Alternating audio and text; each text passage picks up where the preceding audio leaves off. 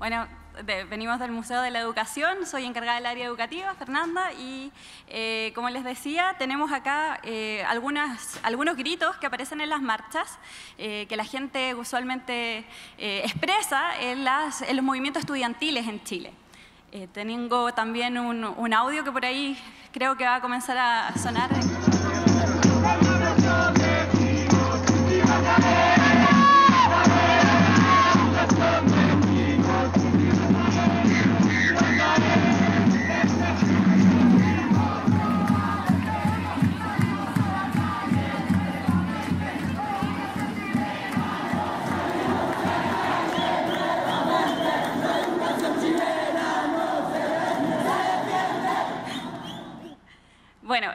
Lo que acaban de escuchar son nada más y nada menos que, eh, ahí está, eh, manifestaciones de los pingüinos, pingüinos manifestándose.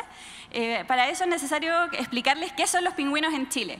En Chile nosotros llamamos pingüinos a los estudiantes secundarios y tiene que ver con su vestimenta, con su uniforme.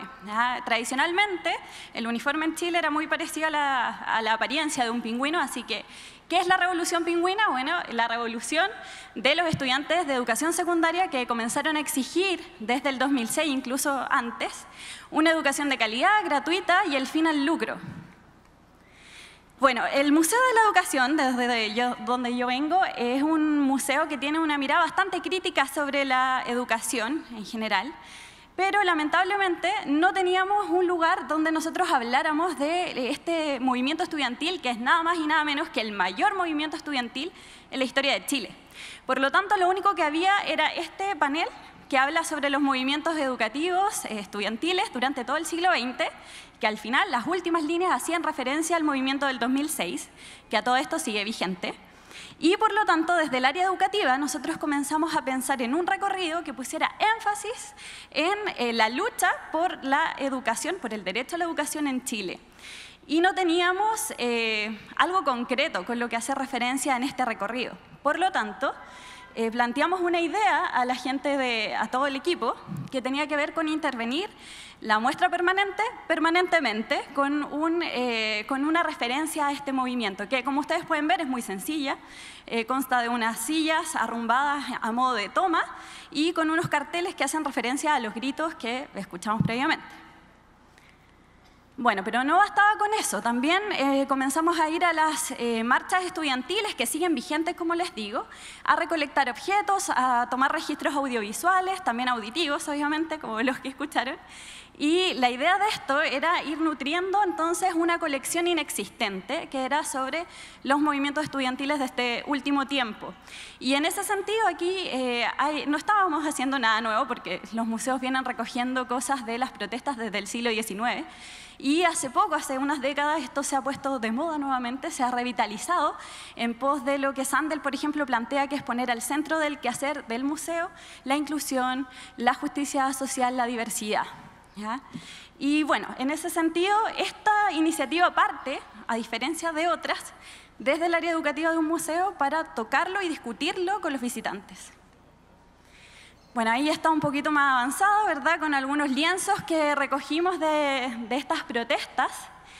Y eh, empezaron a, suceder cosas bastante curiosas mientras esto eh, tenía pocos días aparecieron panfletos en esta instalación que no habíamos puesto nosotros, que llegaron ahí porque fueron espontáneamente puestos por visitantes que iban al museo, que se sentían llamados también a expresarse y por las cámaras nosotros nos dimos cuenta que efectivamente ellos eran los que estaban poniendo los panfletos, que como pueden ver acá, por ejemplo, habla de que si la educación cambia, Chile cambia, por una educación no sexista, que es un tema también muy vigente actualmente en las universidades, sobre todo en Chile. Eh, bueno, ahí estoy yo, una foto que no me favorece mucho, pero estamos hablando ahí eh, con un grupo de estudiantes eh, sobre justamente estos, estos hitos por la lucha de la educación pública.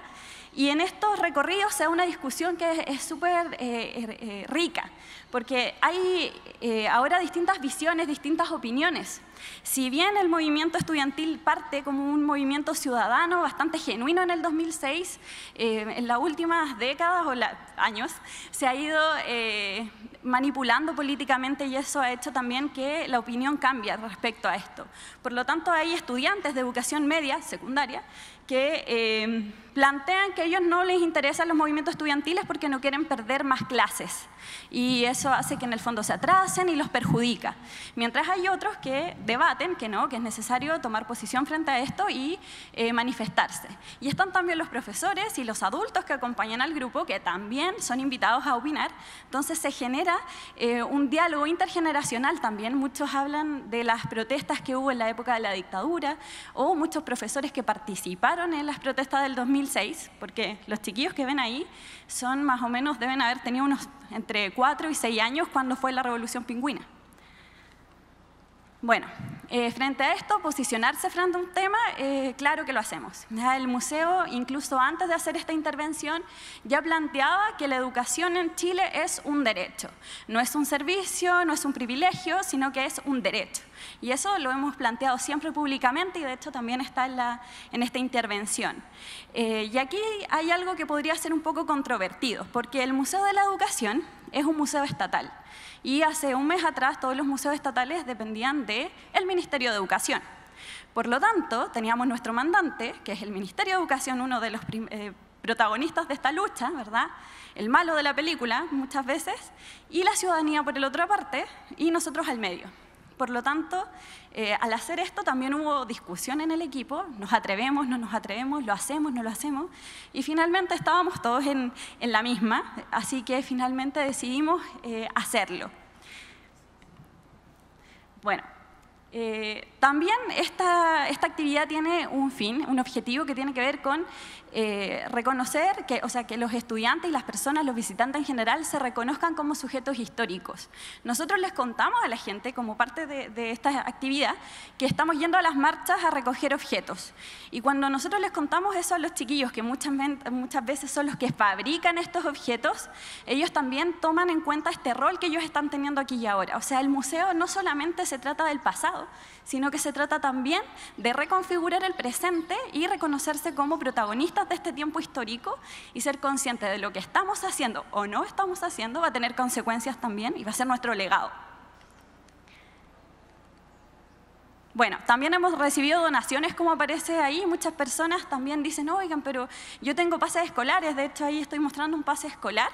Eh, antes no teníamos ninguno y ahora tenemos una gran variedad. Los pases escolares son importantes porque en el 2006 parte del petitorio de eh, los estudiantes tenía que ver también con eh, estos beneficios en el transporte público.